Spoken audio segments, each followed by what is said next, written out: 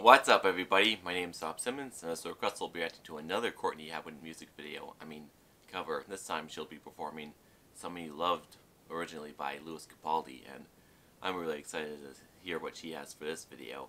And I always say this in my requested reaction videos.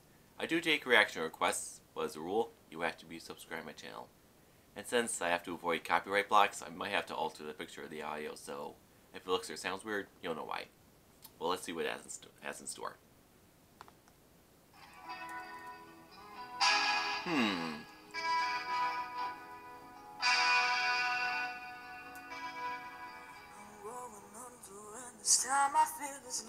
Save Here we go. This all or nothing really got a way of driving me crazy. I need somebody to heal, somebody to know, somebody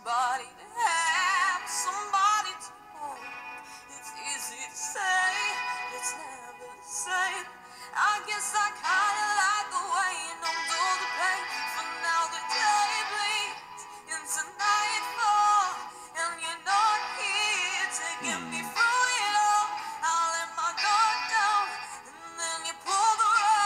Hmm. Emotional kinda lyrics, that's for sure.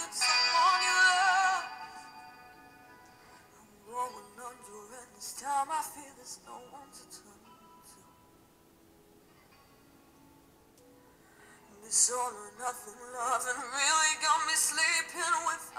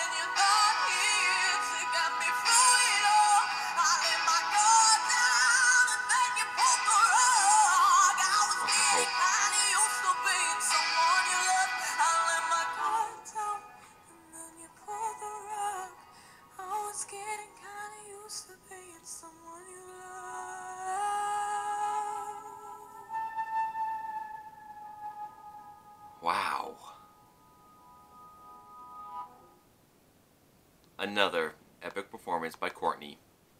And I have a fair amount to talk about. It was interesting to hear a different version of Somebody Loved by Lewis Capaldi. But I've heard that song, the original song, many times, whether it was on the TV or on the radio. And it was really interesting to hear that song with uh, more of a rock twist compared to the original where it's slow and somber on the piano.